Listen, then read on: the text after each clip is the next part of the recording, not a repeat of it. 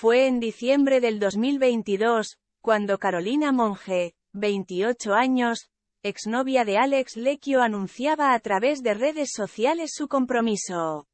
Una noticia que, sin lugar a dudas, removía muchos sentimientos en Ana Obregón, 68 años. Fue entonces cuando la presentadora tomó la decisión que para algunos sería muy polémica, dejando de seguir a la diseñadora en todas las plataformas.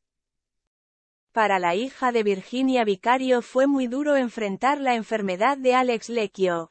Sin embargo, demostró la gran fortaleza que había en ella acompañándolo hasta el último día. Como si esto no fuera suficiente, fue el bastión de Ana en su peor momento. Por fortuna, el destino tenía otros planes para su vida y puso en su camino a Alex Lopera.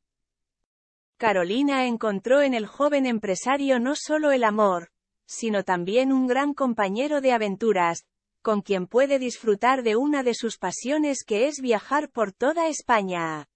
Si bien no se conocen detalles de la boda, pues en este punto la expareja de Alex Lecchio sigue firme en su decisión de mantenerse lejos del mundo mediático. Fuentes cercanas aseguran que la boda se celebraría en el mes de octubre. Los trascendidos sostienen que la diseñadora habría elegido Costa Brava como el destino para celebrar su boda con Alex Lopera, pues la exnuera de Ana Obregón estaría muy unida a este lugar desde muy pequeña. No caben dudas, de que Carolina está frente a un momento trascendental en su vida.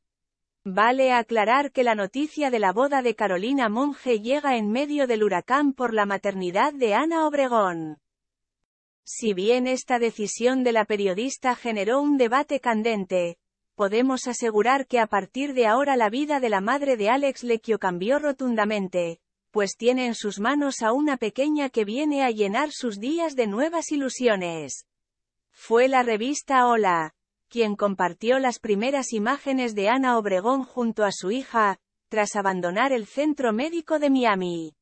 Estas instantáneas reflejan las emociones de la presentadora, quien hasta el día de la fecha vivía un duro duelo tras perder a Alex Lecchio.